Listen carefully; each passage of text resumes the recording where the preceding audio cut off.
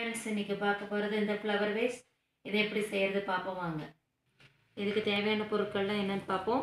Colour paper ஒரு ball ஒரு tumbler pen scissor gun glue gun வந்து பார்த்திங்கன்னா முதல்ல ஒரு பேப்பர் எடுத்துக்கணும்.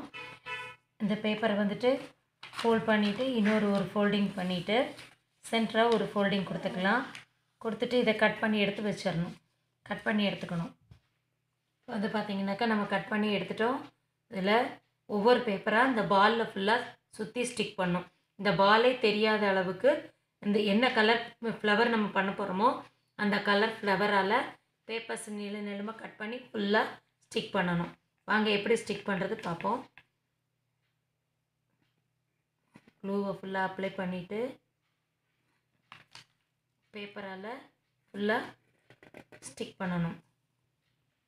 வந்து பார்த்தீங்கன்னாக்கா நம்ம ஃபுல்லாக கலர் பேப்பர்ஸை பாலில் ஃபுல்லாக ஸ்டிக் பண்ணிட்டோம். நம்ம என்ன கலர் பால் யூஸ் பண்ணணும்னு தெரியாத அளவுக்கு ஸ்டிக் பண்ணியாச்சு.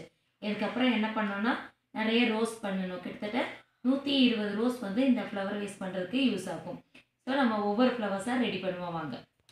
வந்து பார்த்திங்கன்னா நம்ம ஏற்கனவே சொல்லியிருக்கோம் எப்படி ரோஸ் பண்ணுறதுங்கிறத திரும்ப ஒரு தடவை ஞாபகப்படுத்துகிறேன் ஸ்கொயர் ஷீட் எடுத்துகிட்டு சென்டரில் டாட் வச்சுக்கணும்.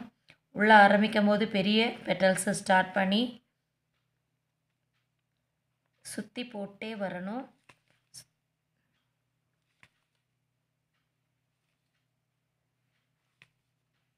சுற்றி போட்டுட்டே வந்துட்டு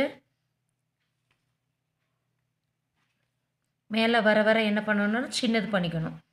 சின்னது பண்ணியாச்சு. இப்போது அவ்வளோதான் இதை நம்ம கட் பண்ண ஆரம்பிச்சுக்கலாம்.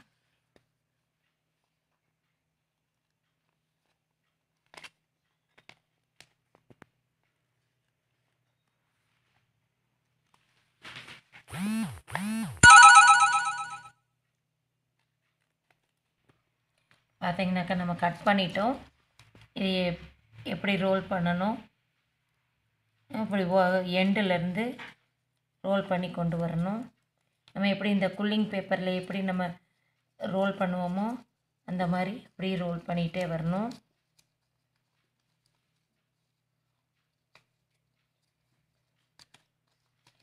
அந்த கட் பண்ண அந்த எண்டு வரைக்கும் கரெக்டாக கொண்டு வந்து நிறுத்திட்டு விட்டுடணும் விட்டுட்டு லைட்டாக அப்படி ரெண்டு தடவை இது பண்ணோன்னாக்கா இது நமக்கு அழகாக விரிஞ்சு கொடுத்துக்கும். இப்போ இந்த ரவுண்டில் வந்து நம்ம இப்போ வந்துட்டு க கம் அப்ளை பண்ணிவிட்டு இதை ஸ்டிக் பண்ணிட்டு முடிஞ்சது. இப்போ வந்து பார்த்தீங்கன்னாக்கா நான் ஃப்ளவர்ஸ் பண்ணி வச்சுருக்கேன். இதுக்கு தேவையான ஃப்ளவர்ஸ் ரெடியாக இருக்குது இது எப்படி ஸ்டிக் பண்ணுறது பார்ப்போம் வாங்க. இப்போ வந்து பார்த்திங்கன்னா ஒவ்வொரு ஃப்ளவராக இந்த பாலில் நம்ம ஸ்டிக் பண்ண ஆரம்பிக்கலாம். கம்மை போட்டுட்டு முதல்ல சென்டரில் ஒரு ஃப்ளவர் வச்சுக்குவோம்.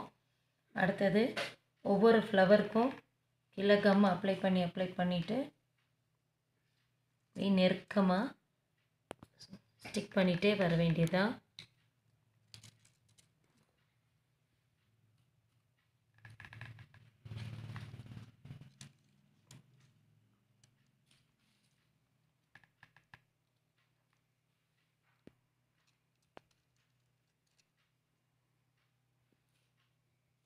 இப்போ வந்து பார்த்திங்கனாக்கா அந்த ஃப்ளவர்ஸை நம்ம வரிசையாக ஒட்ட ஆரம்பிச்சோம் இல்லைங்களா?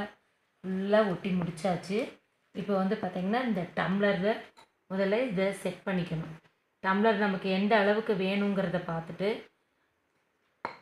நம்ம வச்சுட்டு ஏதாவது எக்ஸ்ட்ராஸ் ஏதோ ஒரு மூணு இடம் காலியாக இருந்துச்சு. இங்கே பார்த்தீங்கன்னாக்கா உங்களுக்கு தெரியும். இந்த இடத்துல ஒரு ரெண்டு மூணு இடம் காலியாக இருக்கு இல்லையா? அதுக்கு தேவையான ஃப்ளவர்ஸை பண்ணி நம்ம டிசைன் பண்ணிவிட்டு நம்ம இதை ஸ்டிக் பண்ணி முடிச்சுக்கலாம். நமக்கு உங்களுக்கு இந்த டம்ளரில் வேணும்னா ஏதாவது டிசைன் நீங்கள் ஸ்டோன் டெக்கரேஷன் அல்லது இந்த கலர் பேப்பர்ஸ் வச்சே சுற்றி டெக்கரேஷன் பண்ணுறதா இருந்தாலும் பண்ணிக்கலாம். அவ்வளோதான் வியூவர்ஸ் இந்த ஃப்ளவர் வேஸ் உங்களுக்கு பிடிச்சிருந்ததுன்னா சப்ஸ்கிரைப் பண்ணுங்கள் லைக் பண்ணுங்கள் கமெண்ட்ஸ் பண்ணுங்கள் தேங்க்யூ